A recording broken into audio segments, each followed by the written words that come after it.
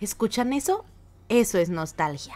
Hola, soy Bash y hola amigos, bienvenidos una vez más a nuestro canal. Y bueno, en esta ocasión, como la mayoría sabrán, tenemos un capítulo especial de Doctor Stone, en el cual se nos narran eventos de después del final. Esto implicará una continuación, ya lo estaremos analizando. Y bueno, la razón por la que yo voy a hacer la review de este capítulo es que lamentablemente Liz está mal de la garganta y solo pudo grabar esa primera frase, aunque sí claramente se moría de ganas de hacer la review, así que les pido una disculpa. De igual manera tenemos a un suplente realmente espectacular, ya que yo les estaré narrando este video. Pero bueno, ahora sí, sin nada más por añadir, comencemos de una vez. Y bueno, como ya había mencionado, básicamente este capítulo nos narra parte del proceso de Senku y su equipo para construir la máquina del tiempo, además de plasmarnos los objetivos que tienen a futuro. Y bueno, de primera instancia creo que sin duda alguna, si Inagaki y Boishi quisieran, podrían darle continuidad a esta historia, pero ya veremos lo que sucede con Doctor Stone. Mientras tanto vamos a platicar del episodio. En primera instancia observamos una espectacular página a color en donde se nos muestra a Senku, Ryusui y Chrome montando motos voladoras. La verdad es que esto nos podría hacer pensar que la evolución científica en este punto ha avanzado mucho, pero honestamente aún no es así, solo es una referencia de lo que podríamos llegar a ver. Pero bueno, ahora sí comenzamos con el capítulo y observamos algo sorpresivo, ya que Senku aparece en medio del mar sin saber lo que ha pasado. La verdad es que este inicio sin lugar a dudas es tremendo. Pero bueno, como siempre, poco a poco Senku intenta recordar qué es lo que ocurrió, además de analizar la situación para resolver el problema, ya que en un principio nos dice que debido a la situación actual en el mundo, es prácticamente imposible que logren localizar a alguien en medio del mar, por lo que esto podría significar una muerte inevitable. Pero obviamente para Senku nada es imposible, mencionando que es hora de terraformar. Y bueno, la verdad es que me encantó el inicio de este capítulo ya que hace una referencia directa a los primeros episodios de Doctor Stone, en donde Senku despierta sin nada a su alrededor y tiene que forjarse camino por sí mismo. En este caso es una situación similar, pero ahora partiendo desde el mar. Un aspecto que quería comentar es que desde siempre Doctor Stone ha hecho cierta referencia a Minecraft en este juego de construcción, y en este capítulo yo creo que hace más referencia a un juego llamado Raft. Espero que algunos lo hayan jugado, pero si no lo han hecho, básicamente consiste en partir de una pequeña balsa en el mar para ir consiguiendo recursos y así ir avanzando. La verdad es que es un juego bastante enviciante y recomendado. Pero bueno, debido a esta situación en la que se encuentra Senku, este menciona que tienen que construir una vez más la civilización desde cero, dándonos el nombre del capítulo como terraformación, obviamente haciendo referencia a lo que Senku planea construir en este caso en el mar. Pero bueno, de primera instancia se nos plantea algo interesante, ya que obviamente Senku tiene un límite de tiempo debido a que estar en el mar irá perdiendo calor y de esta manera alcanzará su muerte. Afortunadamente para él, al parecer tiene una capa de aceite, lo cual lo ayuda a mantener el calor en su cuerpo por mucho más tiempo, además de lograr encontrar algunos frascos con líquido de resurrección, obviamente para así tener más compañeros. Aunque eso sí, solo le queda para tres personas. Además también logra encontrar un audífono espía con el cual logra detectar algunas ondas de radio dirigiéndose hacia el lugar. Algo que me llama mucho la atención es que Senku nos menciona que logre realizar esta natación debido al riguroso entrenamiento que tuvo que hacer para ir a la luna. Y la verdad esto sí que es nostálgico. Pero bueno, la primera persona que encuentra a Senku no podía ser nadie más que la mismísima Kohaku. Pero bueno, antes de ver lo que sucede con Kohaku, observamos que Senku finalmente recuerda lo que había ocurrido, explicándonos que al parecer él y su grupo habían salido a buscar un material científico para construir la máquina del tiempo, hasta Noruega. En este caso observamos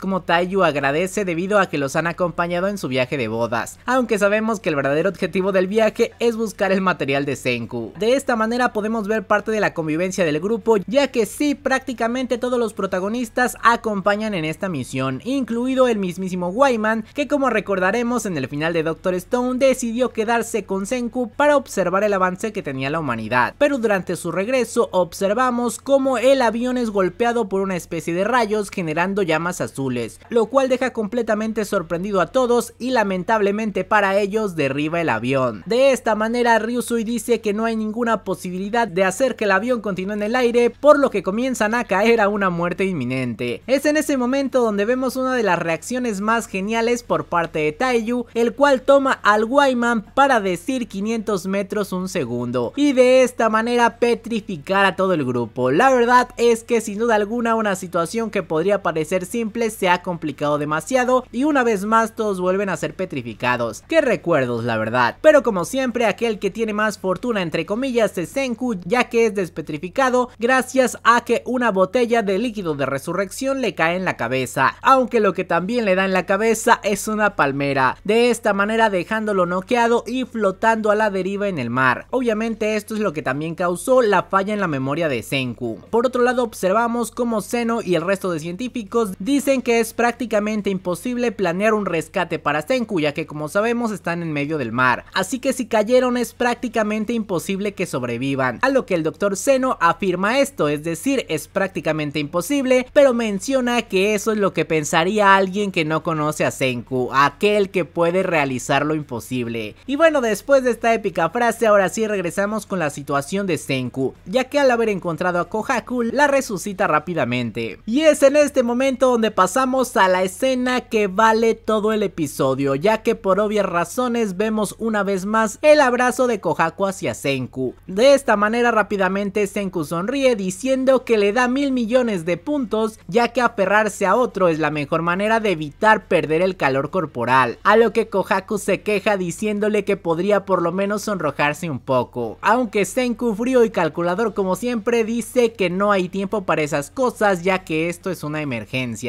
Dando una respuesta de Kohaku realmente espectacular, ya que menciona que podría haberla dejado petrificada y cargarla. Así habría estado seguro de que ella no moriría. Pero por otro lado la ha resucitado para que ambos asuman el riesgo y avance como su compañera, diciendo que eso la hace muy feliz. Y bueno, la verdad es que sin duda alguna esta es la escena más chip que podríamos llegar a ver en el capítulo. Una vez que vi la confirmación de este nuevo episodio de Doctor Stone, la gran mayoría estaba deseando que hubiera Senhaku. Y bueno, sabemos que Senku es muy difícil de conquistar, pero aún así esta afirmación de Kohaku es realmente importante, ya que menciona que Senku la está eligiendo como su compañera de aventuras, y eso la hace feliz. Obviamente sabemos que estos tienen que terminar juntos en algún momento a pesar de la frialdad de Senku, pero bueno, sin duda alguna esta es mi escena favorita del episodio. Pero bueno, ya terminando el ship que a Alice le habría encantado narrar, ahora continuamos con la situación, ya que obviamente gracias a Kohaku ella puede recolectar materiales que se encuentran en el mar para así ir construyendo una pequeña balsa. Ella está muy sorprendida de que puedan encontrar tantas cosas a sus alrededores, a lo que Senku confirma que esto no es una coincidencia, ya que al parecer se encuentran en el Triángulo de las Bermudas. Y todavía más sorprendente, esto no fue por casualidad, ya que Ryusui lo planeó todo, sabiendo que de alguna manera necesitaban reunirse otra vez y recolectar las partes que pudieran encontrar,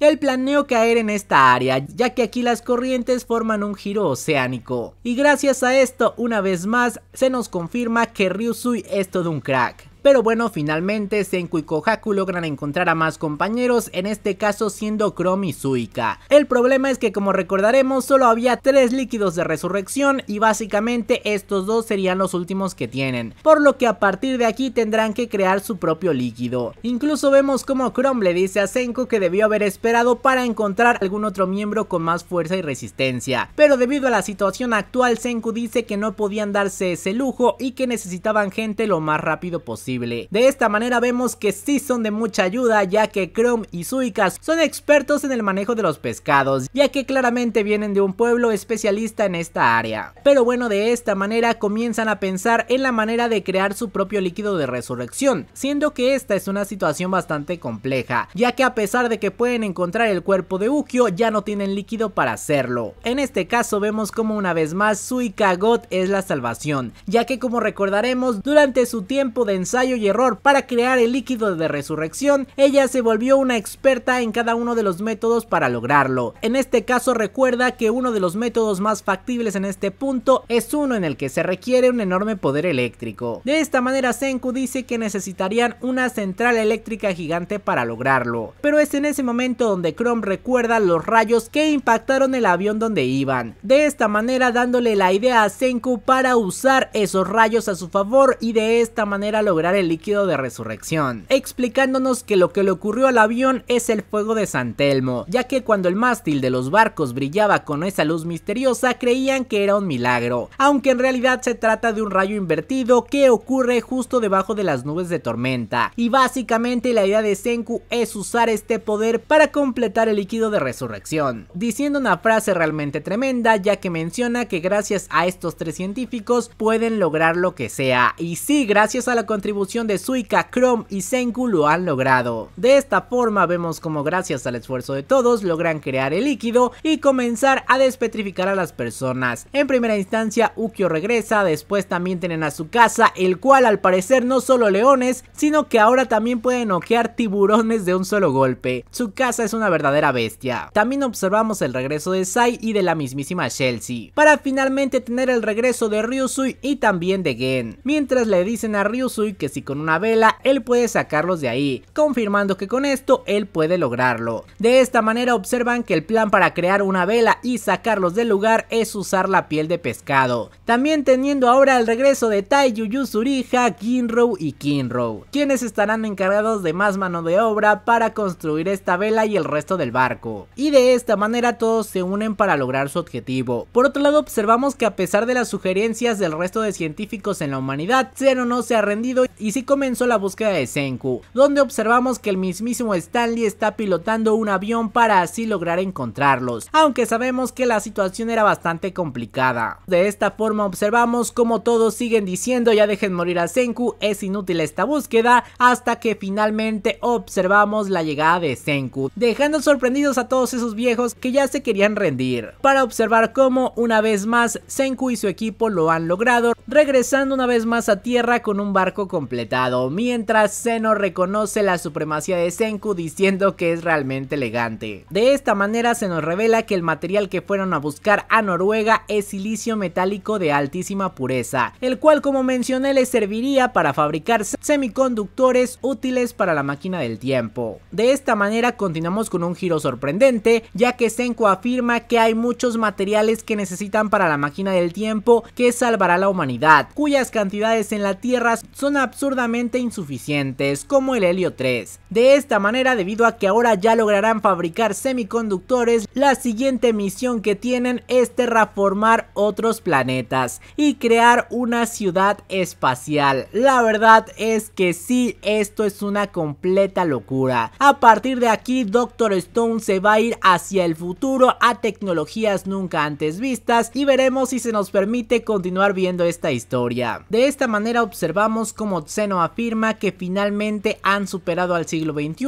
por lo que el futuro será muy elegante, dando el comienzo a la era de la exploración espacial, ya que menciona que para la ciencia que la humanidad ha amasado en 2 millones de años, todo es material para artesanías, ya que todos los planetas en el universo son rocas gigantescas que salvarán a la humanidad, son Doctor Stone. De esta manera observamos cómo Chrome y se motivan para así crear la ciudad espacial, a lo que Senku afirma que esto es realmente emocionante y nos dejan con la frase de la ciencia no tiene final, terminando de esta manera el episodio. Y bueno chicos, la verdad es que como dije, sin duda este capítulo ha sido realmente nostálgico. En primera instancia se nos refleja una vez más el inicio desde cero que tanto importó en la historia de Doctor Stone, aunque ahora desde otro ángulo que fue desde el mar. Por otro lado tuvimos la oportunidad de ver la contribución de cada uno de los personajes en esta historia. También tuvimos Senhaku que la verdad a pesar de que no es una confirmación oficial, sin duda la idea de que Kohaku dijera que la eligió como su compañera y que eso lo hace feliz, no lo sé, para mí hace el Senhaku más canon que nunca. Por otro lado, sin duda alguna la idea de Senku es espectacular, es decir, el avance científico irá más allá de lo que hemos visto, construyendo ciudades espaciales para posteriormente ir por la máquina del tiempo. Lo único que me causa un poco de conflicto es que dice que para salvar a la humanidad y no sé si eso tiene sentido, ya que la humanidad ahora está bien, aunque obviamente por la petrificación tuvo que haber muchas pérdidas. Aún así no sé si realmente el viaje en el tiempo sea la salvación de la humanidad. Pero bueno, sin duda alguna Doctor Stone tendría mucho material para seguir adelante, pero claramente esto ya quedará a decisión de sus autores. Honestamente este episodio me ha sorprendido porque incluso me gusta más como final del que vimos anteriormente. Es un episodio bastante completo que nos aporta muchísimo a la historia. Pero bueno, me encantaría que me dejen su opinión y teorías en los comentarios ya que el capítulo me ha encantado y tengo muchísimas expectativas por lo que podría pasar. Pero bueno, antes de despedirme quiero agradecer a todos los miembros del canal que siempre nos están apoyando. Y muchas gracias al Estado Almora, al Cojo Gamers, Emanuel Castro, Luis Macosta, Ernesto Albornoz, Alex Gamer, Armo, Rodrigo García, Roberto Pedrero, Fanny Morales, Cotaniel Alvarados, Soules y Bárbara Ninao. Y ahora sí, sin nada más por por añadir. Adiós.